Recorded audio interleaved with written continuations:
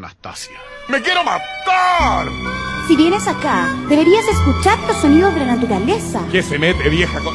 ¿Qué está haciendo, amigo? Primero, no soy su amigo. Segundo, ¿quién es usted? Y tercero, ¿qué le importa? Tulio, ¿dónde se metió ese idiota? Y así comencé mi lento aprendizaje ciclístico.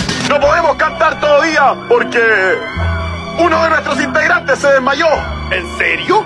¿Quién? Tú. Puede pasar. ¿Y la moneda? Mm, miserable.